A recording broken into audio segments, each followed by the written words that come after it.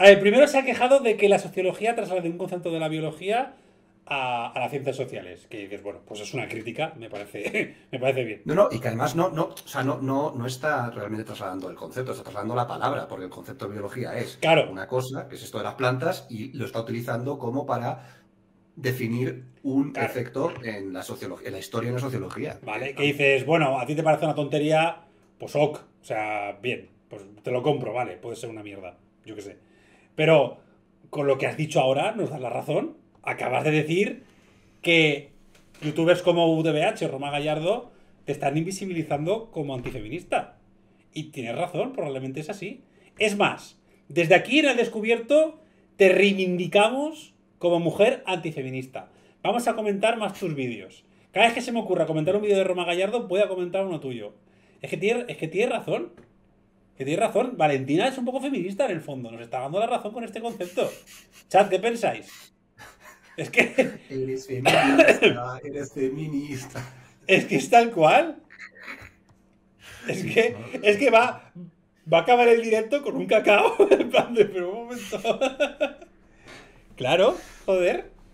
Me parece muy bien. Pero es verdad que es verdad que mucha mucha gente mucha de esta gente eh, realmente no, o sea, no, no, se cree lo que está diciendo. O sea, sabe perfectamente que lo que está diciendo es una milonga. No sé si es el caso de, Valentina, pero como ve que tiene que tiene éxito y que le y que le paga bien, pues lo dice. Eh, no sé, porque luego, o sea, no sé, yo luego me voy a dormir y como que tengo estos pensamientos y de vez en cuando, yo qué sé, cuando tiene una discusión digo, joder, eh, me habré equivocado. A todos, nos pasa. Claro, eh, mm, recontextualizamos todos nuestros pensamientos y nos discutimos a nosotros mismos. Esta gente o no tiene esa capacidad o sabe perfectamente que lo que está diciendo es una gilipollez y bueno, mm, a veces se le escapan, no tiene esos, esos eh, deslices freudianos en los que, en los que pues eso. Tal cual. Además, de, de, momento en el vídeo de conceptos básicos no habéis dicho ninguna tontería. Lo de que se ha silenciado a las mujeres, sobre todo en ciencia, y en algunos sitios donde se ha demostrado que detrás de muchos inventos o de muchos descubrimientos había una mujer o ha ayudado a una mujer o escribió algo una mujer y o bien tuvieron que ocultar su nombre para que se les tomara en serio o bien directamente se, les ignoró. Esto es un hecho histórico, aquí no hay tu tía, no estamos hablando de conceptos estructurales, sociológicos, conceptuales, no, hay hechos históricos de que esto ha pasado así no, y ya está, no pasa nada.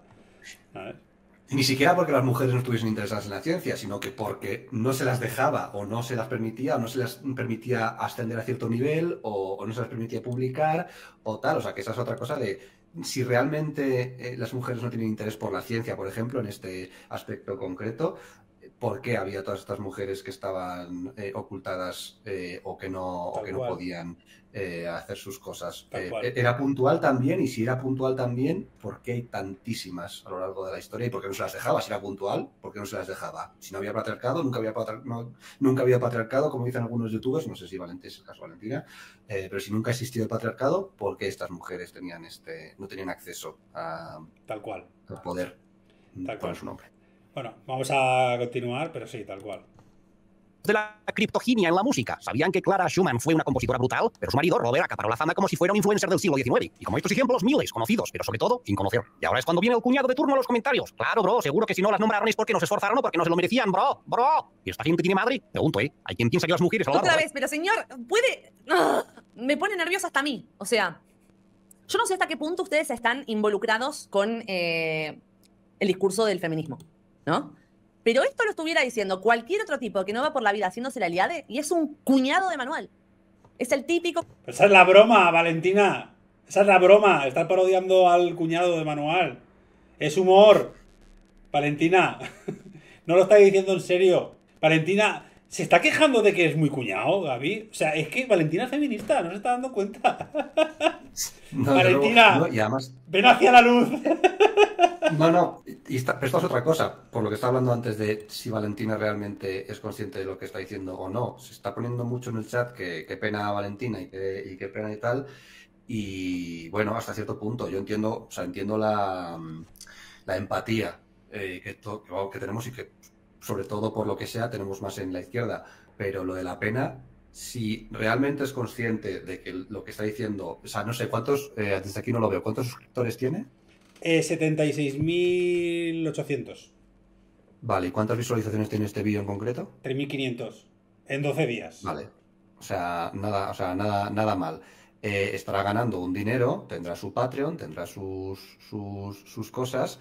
Eh, a- la pena hasta cierto punto, porque si es consciente de lo que está haciendo, eh, yo creo que pena cero. O sea, habría que ser más agresivos con ella y habría que destrozarla. O sea, aquí sí que a lo mejor estoy siendo un poco radical, pero yo entiendo esa empatía de intentar convencerla o que cambie de opinión, pero eso, eh, si realmente es un ser humano que está, mm, que, es capaz de hacer ese, de ese proceso y no está siendo simplemente una monetizadora de odio, como lo son muchos, y en tal caso que también nos puede cegar el hecho de que sea creadora de contenido y también estemos siendo machistas en el sentido de, no, no, si esta, si esta chica está siendo un parásito que está aprovechándose del tirón que tiene el discurso de derechas para lucrarse y así está empujando a mucha gente y a muchas mujeres a este discurso sin piedad y sin pena Pues ninguna. fíjate, yo creo que Eh, yo creo que este no es el caso, ¿eh?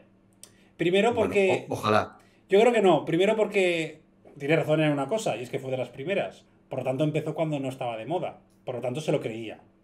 Tiene una asociación con la que hace activismo de lo suyo al margen de los vídeos.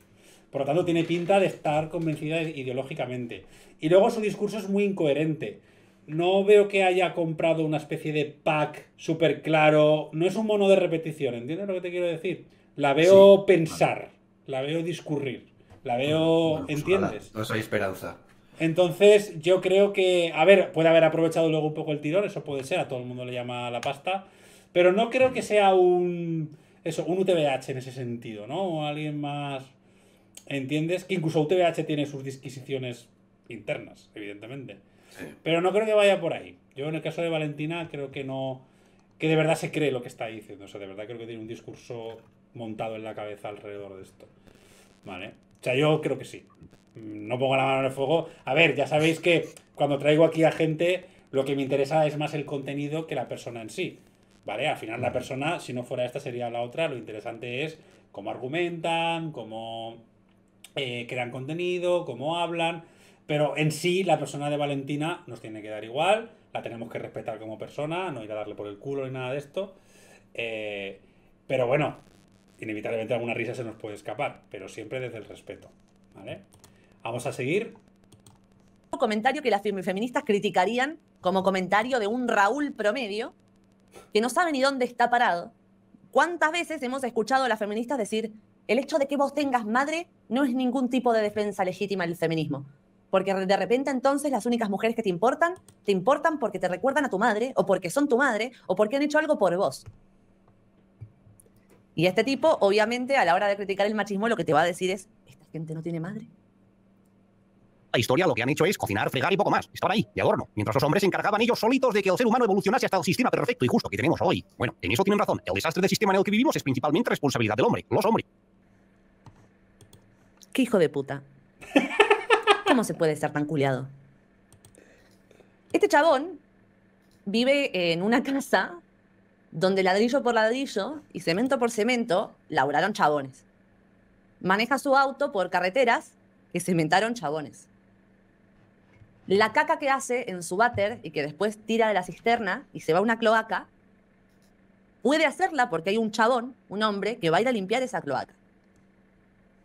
La situación geopolítica de todos los países en, en los que vivimos actualmente han dependido enteramente, casi exclusivamente, de hombres que han estado dispuestos a morir para progresar nuestras sociedades. Algunos de ellos ni siquiera estaban dispuestos a morir, los obligaron, por ser chabones. Grandes cantidades. Algunos de ellos es generoso, porque en realidad muy poquitos hombres están dispuestos a entregar su vida a cambio de una mención en un libro de historia o de un monumento. Eh, o- hasta aquí estoy de acuerdo con todo lo que ha dicho. Incluyendo la crítica anterior, aunque sea humorística, pero hasta ahora no está diciendo nada raro. o de esto, de que ellos tienen que entregar la vida para que después te digan que el mundo es una mierda por culpa de los hombres. Y mientras tanto, este chabón se las ingenia para ser un hijo de puta machista y hembrista al mismo tiempo. Porque Esta, nos aclara, ¿eh? Eres machista y embrista al mismo tiempo. Es, es la, la antifeminista dos caras. La antifeminista de Rodinger. Eh, a ver, aquí de nuevo nos, nos encontramos con el problema del principio, no entender el concepto de estructuralidad. Cualquiera que entiende que igual esto es un fallo también nuestro de comunicación. Cualquiera que sabe un poquito del concepto de estructuralidad sabe que conceptos básicos, cuando dice que por culpa del hombre nos encontramos en la situación en la que estamos, lo que quiere decir en realidad es, como los hombres históricamente han ostentado puestos de poder eh, y han defendido X valores estructurales basados en la competencia, bla, bla, bla, bla, bla, y un libro entero que podríamos decir acerca de cómo los hombres han manejado los hilos del mundo, evidentemente se puede deducir que eh, las consecuencias negativas del mundo en el que vivimos son consecuencia de, de decisiones tomadas por hombres y que a las mujeres se les ha apartado de esa toma de decisiones. Y que de hecho cuando una mujer ha alcanzado el poder mm, ha sido a costa de, de asumir roles masculinos. Claro, en un vídeo humorístico, Valentina, que pretende hacer reír un poquito, no puedes meter todo eso. Evidentemente nadie se toma en serio que alguien diga que por culpa del hombre el mundo va mal. Es que esa afirmación, evidentemente, tienes que cogerla con pinza, no te la puedes tomar literal. Que tú utilices eso No, para. y- Dime, dime, Gaby. No, no, y, y que además, y que además también, si quieres, luego, después de hacer la lectura feminista, hacemos la lectura de clase. No cualquier hombre.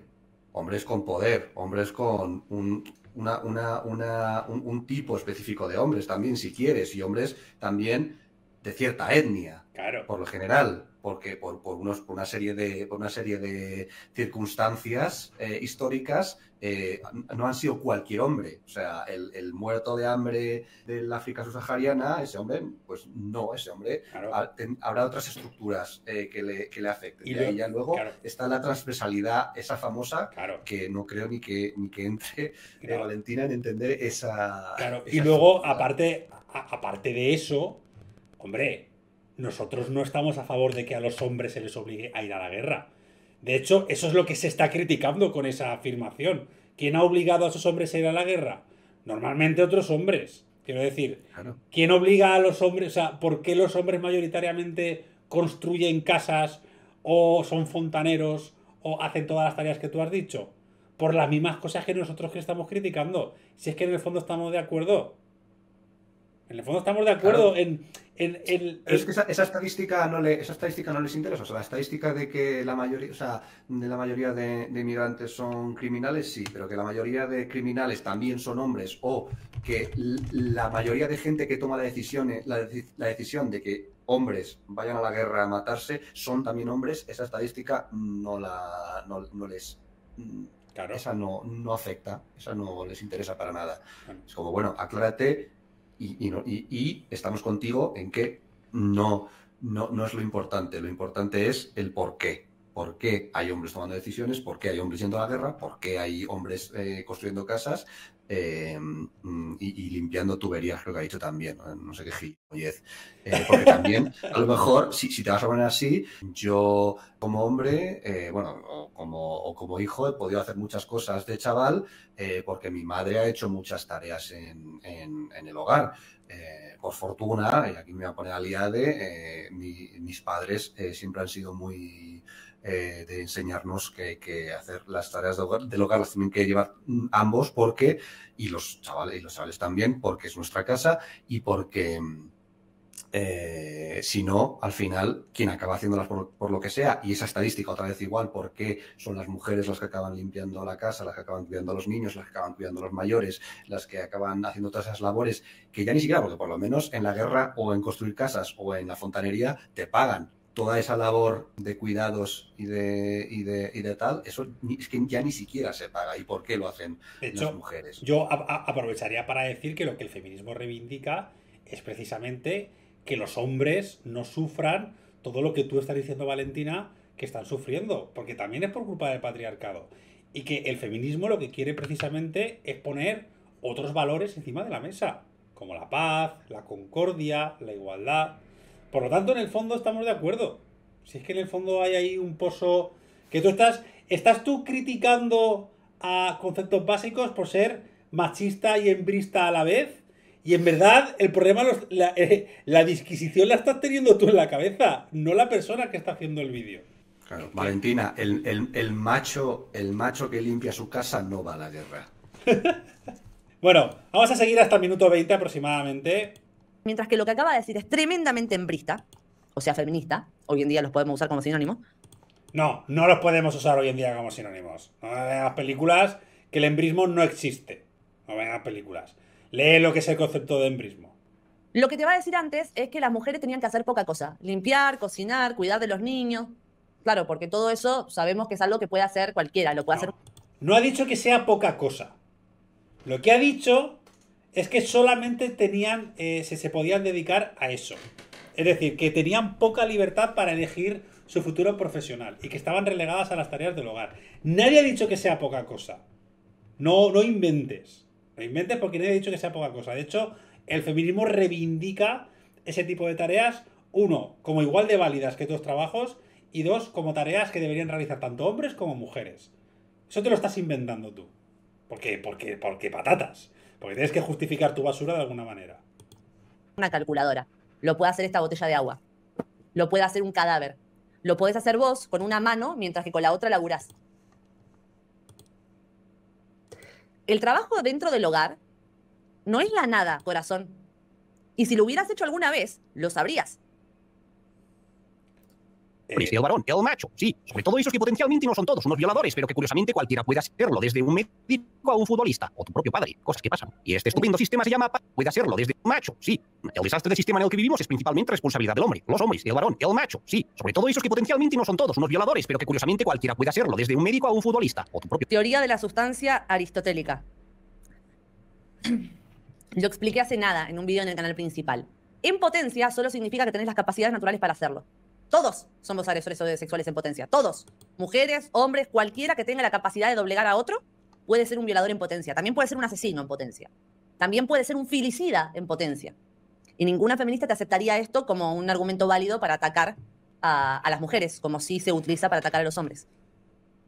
Todos sabemos que sería falaz, desacertado y deshonesto decir que Vale, sobre el tema del concepto en potencia, que es muy interesante, ¿vale? Eh, eh, el feminismo, para empezar, el término de violador en potencia, o los hombres como violadores en potencia, como potenciales violadores, no lo usa todo el feminismo. Han sido unas feministas muy concretas que han decidido utilizarlo como un eslogan político, como un discurso político, con una argumentación adherida. Segundo punto, no se ha hecho para atacar a los hombres. Se utiliza para explicar el concepto de estructuralidad, que como no lo entiendes, como no lo entiendes, piensas que es para atacar personalmente a todos los hombres del planeta. Pero voy a intentar, eh, desde mi mansplaining, esto es humor, por favor, voy a intentar explicártelo. Y no voy a explicártelo porque considere que lo sepa eh, más que tú, sino porque veo que te falta entender ese concepto para entender lo que queremos decir desde el feminismo, o lo que quieren decir las feministas, o algunas feministas, con el concepto de violadores en potencia. Y es que el 99% de las agresiones sexuales las provocan hombres. Es decir, lo que ha dicho este vídeo de conceptos básicos, de no todos los hombres son potencialmente violadores, pero casualmente siempre es un hombre cercano además el que ha cometido la agresión sexual. De eso se trata, de que no se puede entender eh, el delito de agresión sexual sin ligarlo al género, porque el 99% son producidos por hombres. Y ya está, es una manera de intentar visibilizar eh, esa problemática que existe y que es obvio que está ligada al género masculino. Y no tiene que ver por una cuestión de fuerza. Que claro, como no entendéis el concepto de estructuralidad, lo ligáis a características individuales. Como los hombres son fuertes, por lo tanto pueden hacer eso. Pero ser más fuerte o tener armas no implica per se un abuso. Tiene que haber una educación, unos valores, unos roles de género, una socialización que justifique, valide, promueva eh, ese tipo de actitudes. Si no, no se explica esa diferencia de género tan grande. Porque hay muchas maneras en las que las mujeres podrían doblegar a un hombre. Eh, si no es a través de la fuerza física, sería a través de inmensísimas eh, formas. Y de hecho, cuando lo hace, se oculta, precisamente por lo mismo. Y, y, y que lo, lo de la fuerza física también es una cosa que, que, bueno, a ver, evidentemente a nivel biológico lo que quieras, pero ha habido sociedades en la historia en la que culturalmente la mujer ha sido más fuerte que el hombre. O sea, que, que también, que incluso eso tiene un, tiene un componente eh, cultural eh, y que de nuevo no esto no se dice para condenar al hombre, es el encontrar el porqué y corregirlo, si hay algo que corregir. Que de nuevo ellas eh, ella se queda en el en el porqué porque son más fuertes. No, la fuerza no tiene nada no tiene nada De que ver y de nuevo y- sí. De hecho, vamos a hablar de dos casos famosísimos en Francia de violaciones en masa. ¿Vale? Tenemos el médico este que aprovechaba que, o el cirujano, que se daba a las mujeres para agredirlas sexualmente. Se calcula que agredió sexualmente a más de 300 mujeres. Y el caso de Pelicot, que es este señor que durante años estuvo drogando a su mujer para que la violaran decenas y decenas y decenas de hombres. Te invito a que me encuentres, uno, casos similares de mujeres y dos, que me digas qué coño pinta la fuerza física ahí. Dímelo. ¿Qué pinta la fuerza física ahí? Venga, hombre. Que ya, que ya somos O- o mayorcitos. incluso, que somos mayorcitos. Incluso, incluso cuando ocurrió lo del Me, lo del Me Too en Hollywood, salió un actor, eh, Terry Crews, que no sé si le conoces, es un maromo culturista, petao, y salió el que dijo que a él, un productor, le había acosado sexualmente. Obviamente no había llegado a violarle, pero evidentemente no tenía nada que ver Hablemos- porque si este actor hubiese querido, le hubiese, le hubiese roto el cuello. Hablemos de quién viola mayoritariamente a los hombres. Otros hombres. ¿Qué tiene que ver la fuerza física ahí? Es que no, Valentina, ¿no? Tú eres feminista y no lo sabes. Vamos a seguir y acabamos. todas las mujeres son potenciales filicidas, sabiendo lo que eso implica en el contexto coloquial en el que solemos utilizar lo de en potencia, que no tiene nada que ver con su raíz filosófica. Vemos por dónde vamos, ¿no? Yo padre, cosas que pasan. Y este estupendo sistema se llama patriarcado. Esa paradoja que la derecha niega que exista, pero que a la vez reivindica que vuelva o incluso en el colmo de la ignorancia y la cuñadez más absoluta, como nos llegó a comentar UTVH en un vídeo, no ha existido nunca en España. Nunca, ¿eh? Ni en la dictadura de Franco, que las mujeres tenían que pedir permiso a sus maridos para sacarse una cuenta en el banco. Oye, pero entendemos a Sergio, él tiene que... Entonces, tenemos que entender que con lo que acaba de decir, o sea, UTBH dice, según él. ¿no? Porque no puedo confiar en su interpretación. Según este señor, UTBH dice que en España nunca existió el patriarcado. Luego, te va a decir que la afirmación de UTBH no tiene validez porque no se puede negar que en la dictadura de Franco hubiera un contexto patriarcal. O sea, lo que me Vale, está diciendo este señor, ¿viste? Lo- lo- esto es lo que pasa cuando mm, debatimos distraídos. Cuando deba- debatimos distraídos, nos acaba ocurriendo que le ponemos más importancia o más atención intentar desmentir a nuestro adversario, a nuestro contrincante dialéctico, en lugar de defender nuestras propias ideas. Porque este chabón, intentando desmentir a UTBH, terminó reconociendo que hoy patriarcado como tal no hay. Lo que dijo, según la literalidad de sus palabras, es que patriarcado había en la dictadura de Franco, ahora no. Patriarcado, dije que voy a definir los términos. Patriarcado es una organización social primitiva, ¿sí? entendiendo lo que significa la palabra primitivo, que tenía al patriarca como el jefe de familia, el patriarca el hombre como jefe de familia. En este contexto, en un contexto de un patriarcado, las mujeres no eran consideradas ciudadanas de pleno derecho y no tenían, por tanto, acceso a ciertos derechos fundamentales que hoy tienen más que reconocidos. Eso es lo que se podía considerar como una sociedad patriarcal. Eso, esa desigualdad jurídica y sustantiva ante la ley. Esa categorización de ciudadano de primera y ciudadano de segunda. Y después podemos entrar en cómo surge el patriarcado, porque el patriarcado no surge como una terrible conspiración de los hombres para someter a las mujeres. Todo lo contrario, el patriarcado es solo la consecuencia de roles de género que han surgido primero como eh, adaptaciones evolutivas que nos han permitido sobrevivir como especie, y en segundo lugar, como una forma de infantilización, eh, vamos a decirle, no intencionada, de las mujeres a fin de protegerlas. De hecho, este libro que tengo acá atrás, Deshumanizando al varón, que lo nombro todo el tiempo porque es, de verdad que es maravilloso, no, puedo, no, no me dan minutos en la vida suficientes para recomendarlo, explica la diferencia entre una relación de infantilización versus una relación de opresión.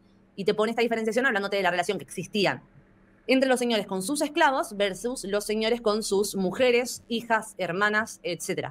Mientras que al esclavo se lo oprimía con la intención de explotarlo, con la intención de sacar beneficio de él, a la mujer se la eh, reprimía con la intención de protegerla.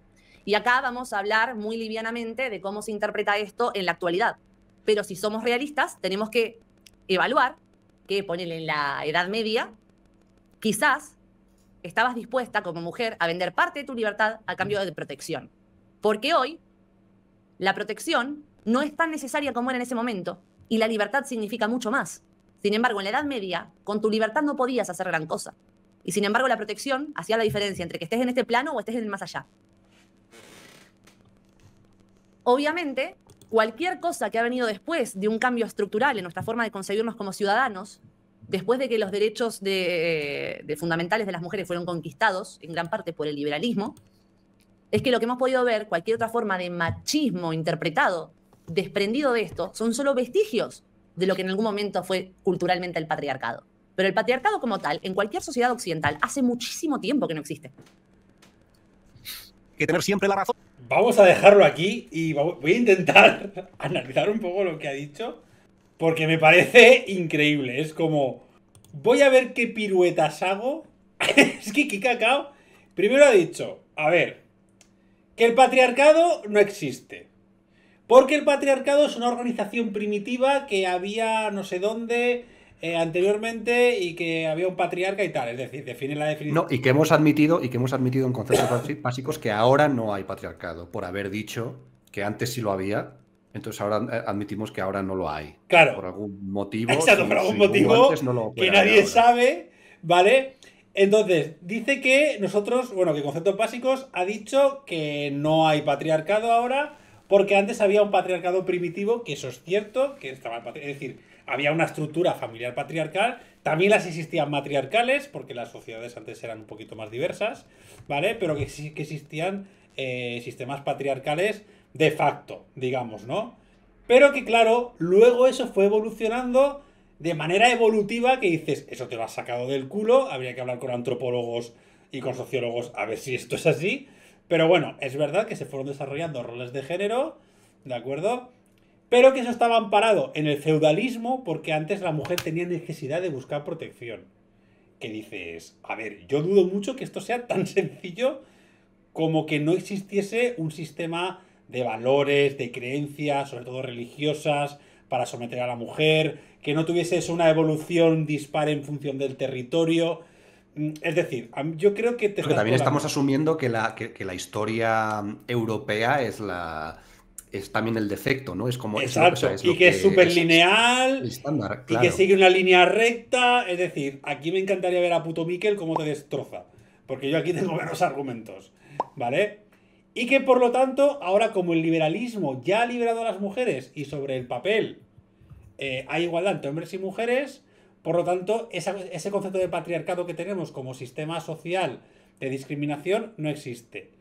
Porque como no entendéis el concepto de estructuralidad, evidentemente te basas, uno, en la literalidad del concepto y dos, en cuestiones individualistas. Cuando lo que definimos, y tenemos pruebas y argumentos de ello en múltiples datos, es que existe un sistema social que de manera mm, estructural, es decir, mediante valores, aprendizajes, procesos de socialización, promueven actitudes y conductas discriminatorias hacia las mujeres con respecto a los hombres. No se trata de que haya una conspiración de hombres que se reúnen un día y deciden ir a por las mujeres. Tú dices eso porque, como no entiendes el concepto de estructuralidad, te piensas que lo que defendemos es eso. Y no es así. Es un concepto. Y ojo, y existen y, son su audiencia. O sea existen y son su audiencia. Entonces, en resumen, no vamos a continuar porque evidentemente el vídeo es muy largo, ya se nos ha quedado un desmontando bastante largo. Pero para que veáis que en verdad, o sea, a mí me gusta enseñar estos vídeos porque sé que si no llegase por este desmontando muchas veces no, no los veis.